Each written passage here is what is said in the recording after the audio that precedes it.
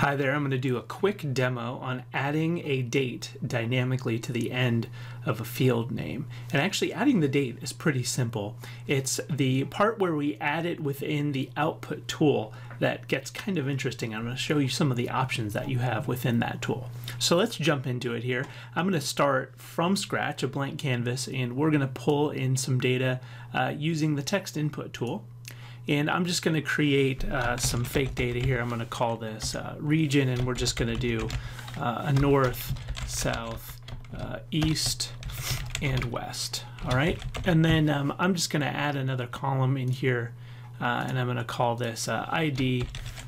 we're going to do one, one, two, three, and four. Of course, I could have used the the record ID generator to create that if I wanted to um, as well.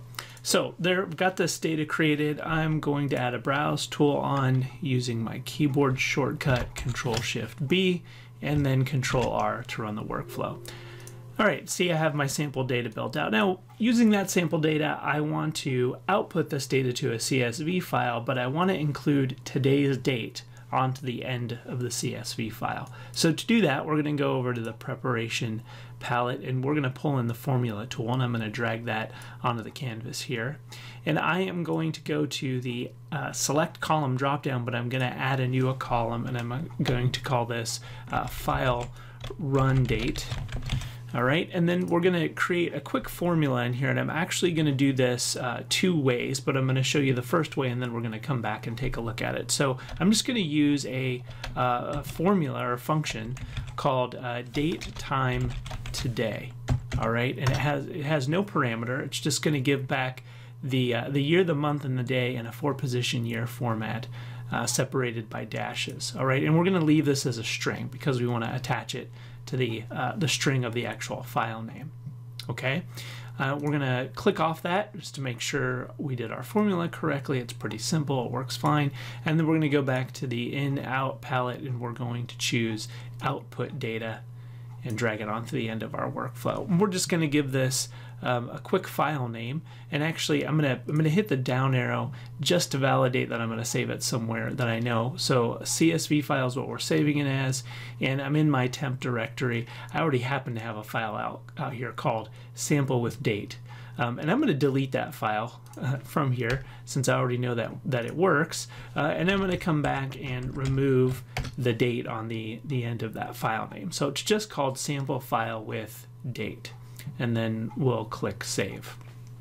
Okay, uh, now I'm going to do this a couple different ways so we can iterate through various uh, suffixes and, and adding on of text to the end of the file name.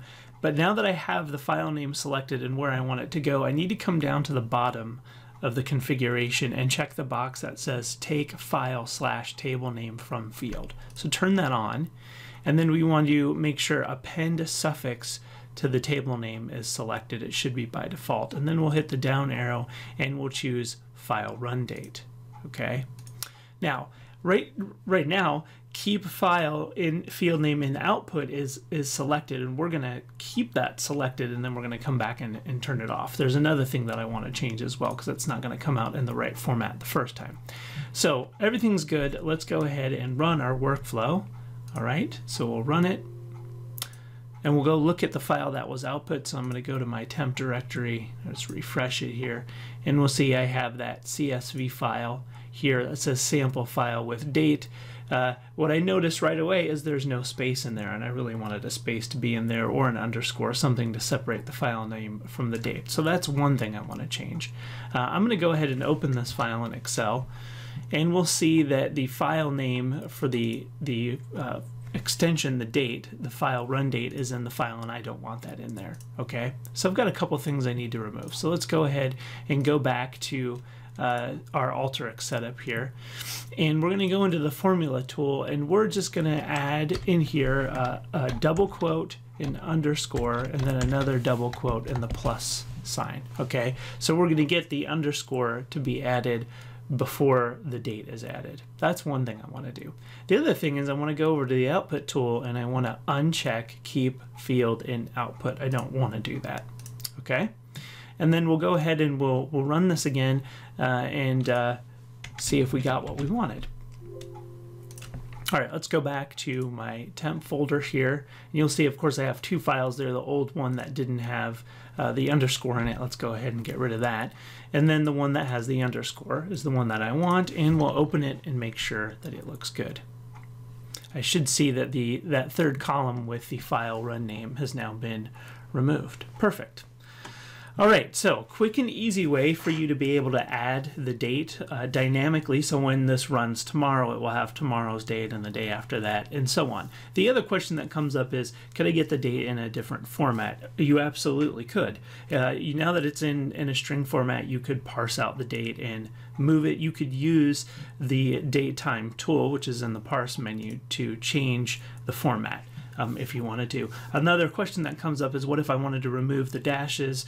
Uh, well, a really quick way to do that would be to use the data cleansing tool that's on the preparation menu, uh, data cleansing, and just cleanse that one column, the file run uh, date column to remove uh, punctuation and that'll get that'll get rid of the dashes. So really quick ways to be able to modify the way that the date date works.